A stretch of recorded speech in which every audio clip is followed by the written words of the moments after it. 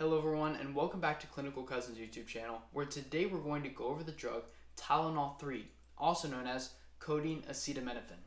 It is an analgesic opioid combo medication used to treat mild, moderate, severe pain, and cough. Now, we must be aware that there is a risk for both physical and psychological dependence, respiratory depression, and acute liver failure if more than 4 grams of acetaminophen is consumed in a day. Please educate your patient that there is acetaminophen or Tylenol in this medication. Therefore, they should be sure not to ingest any more Tylenol than what is prescribed. Also, do not give this medication if your patient has been using a monoamine oxidase inhibitor within the past 14 days.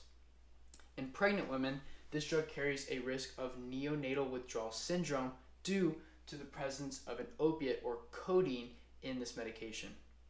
Now, what we need to remember is that codeine is an opiate agonist, which causes C, or sedation, euphoria, and analgesia.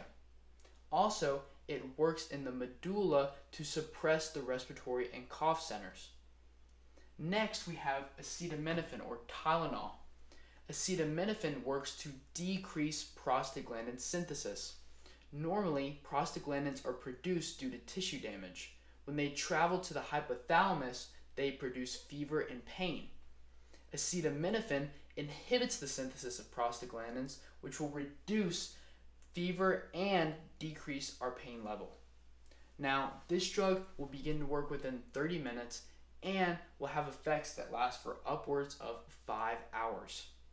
Some common side effects of this medication are C, or sedation, euphoria, analgesia, urinary retention, constipation, nausea, and respiratory depression. Some commonly tested material about this medication is that Tylenol 3 is an opiate analgesic with Tylenol and is given to treat mild, moderate, and severe pain. Also, it carries with it the risk of physical and psychological dependence, can cause respiratory depression, constipation, and urinary retention. Lastly, be sure to monitor the patient's intake of additional Tylenol or acetaminophen with this medication. As always, thank you for taking the time to learn with us today, and remember to like and subscribe for more content.